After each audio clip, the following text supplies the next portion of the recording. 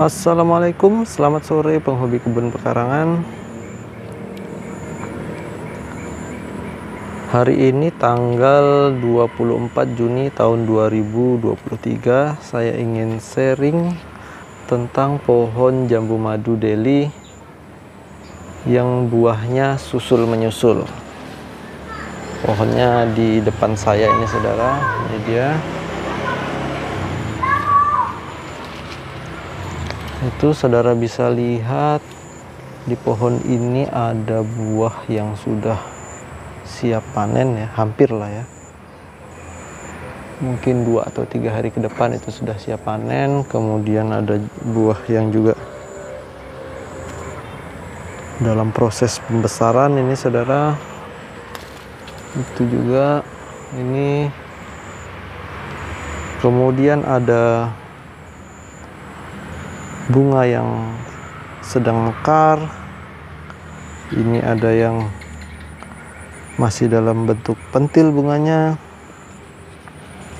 Kemudian ini ada juga yang baru saja keluar calon bunga. Nah jadi dalam satu pohon ini bunga dan buahnya itu punya ukuran yang macam-macam ya saudara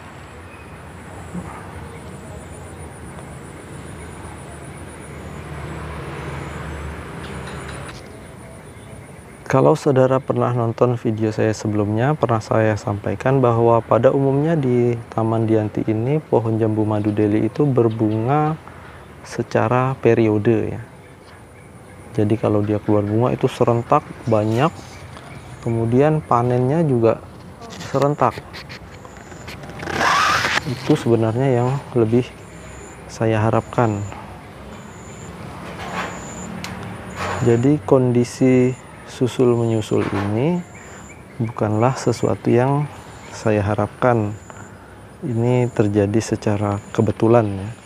Jadi kalau saudara ingin kondisi susul menyusul seperti ini, saya juga tidak bisa menjelaskan bagaimana treatmentnya karena saya pribadi justru tidak menginginkan kondisi seperti ini ya saudara.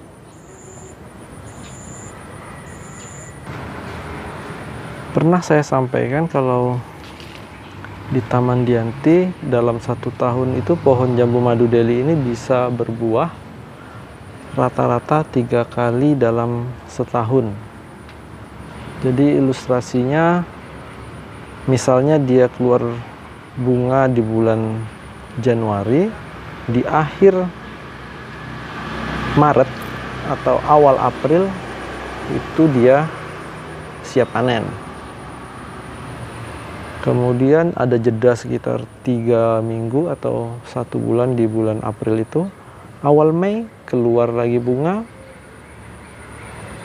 Kemudian di akhir Agus akhir Juli ya itu panen Agustusnya jeda satu bulan.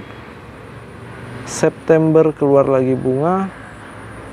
Akhir November panen. Desember jeda lagi satu bulan kemudian awal Januari itu keluar lagi bunga begitu seterusnya. Itu ilustrasi ya saudara walaupun dalam prakteknya tidak saklek ya tidak baku seperti itu. Menurut saya pohon jambu madu ini perlu istirahat saudara dari pembuahan. Makanya saya lebih senang kalau uh, dia berbuah secara periode seperti itu. Masa jeda tiga minggu sampai satu bulan ini perlulah buat dia untuk istirahat ya. Kayak kita aja lah kalau terus-terusan kerja kan harus istirahat juga ada jeda juga. Nah kira-kira begitulah pohon jambu juga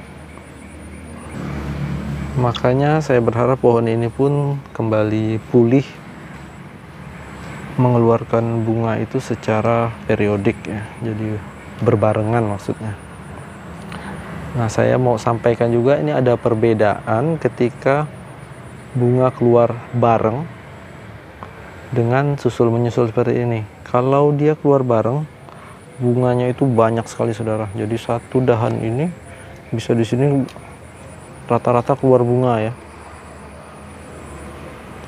Bahkan untuk pembuahannya atau pembesarannya itu malah banyak yang harus kita sortir, lebih banyak yang dibuang.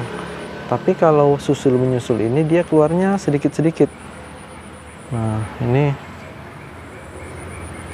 di sini keluar yang lain jarang ada keluar saudara jadi nggak penuh di sini ya di dahan ini nggak penuh baru beberapa bulan berikutnya baru muncul lagi nih kan nah itulah perbedaan kondisi pohon jambu madu yang keluar bunga secara periodik dan bunga yang susul menyusul. Jadi kalau ada penghobi atau petani jambu madu yang bilang pohon ini tidak berhenti berbuah, itu ada benarnya ya saudara. Ini sudah saya alami sendiri, walaupun tidak saya inginkan.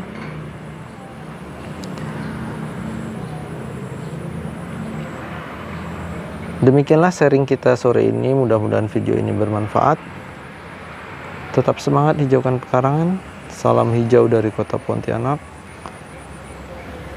Assalamualaikum warahmatullahi wabarakatuh.